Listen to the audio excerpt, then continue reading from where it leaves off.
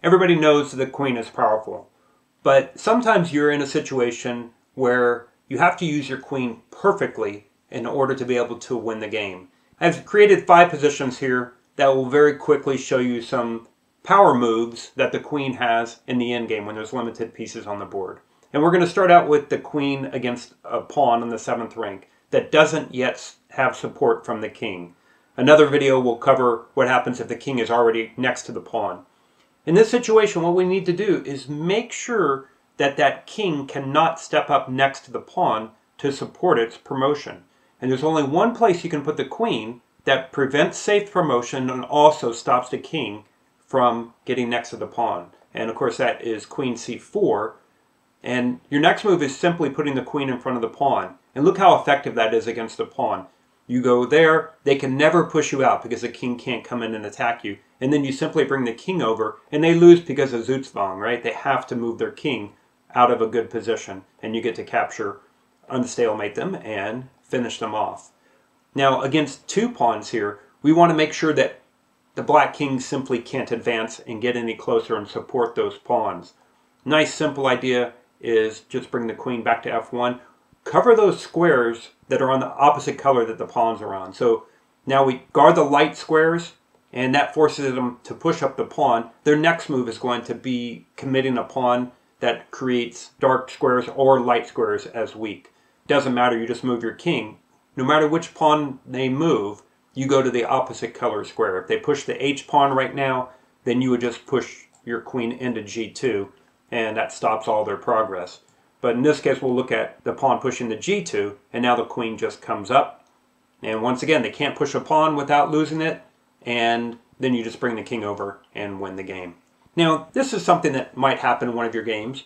You have your queen, your opponent has a bishop and a pawn.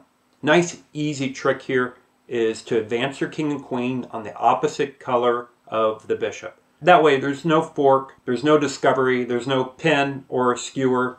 So just stay on the opposite color.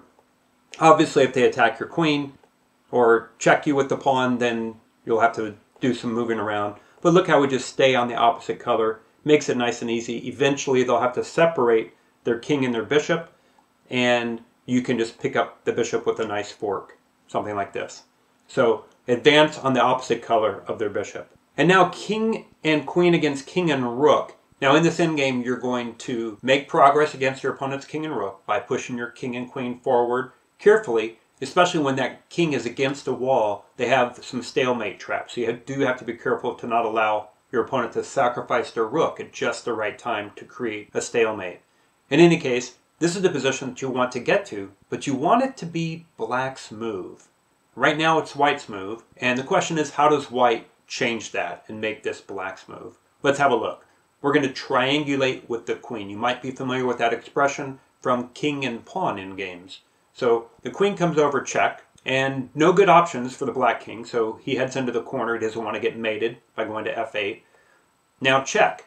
If the rook blocks, then it was going to be mate all the way in the corner at a8. So the king runs over, and the queen comes back to the square. Exact same position, but now it's black's move. And why is this an advantage? Let's check out some options. First of all, if the king goes to f8, you can simply pin the rook and then capture it. If the rook goes to h7, that's checkmate. That was easy.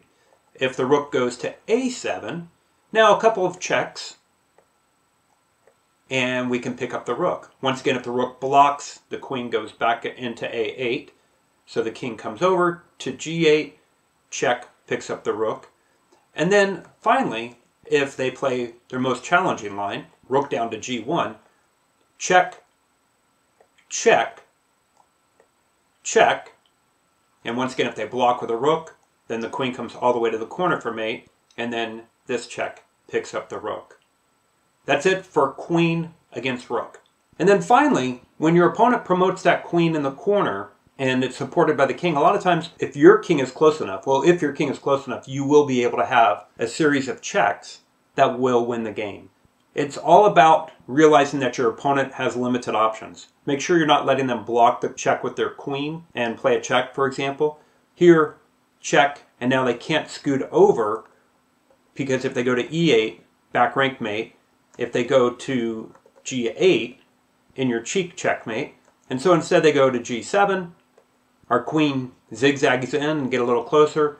Once again, if they are going to f8, check and mate. And if they go to h7, now, the somewhat surprising move, if you've never seen this before, king f7, and the game's over. Our next move will be a deadly queen check, or they give their queen away and we take it. That is power techniques for the queen. Very basic examples for you. That's it. I'll check you later.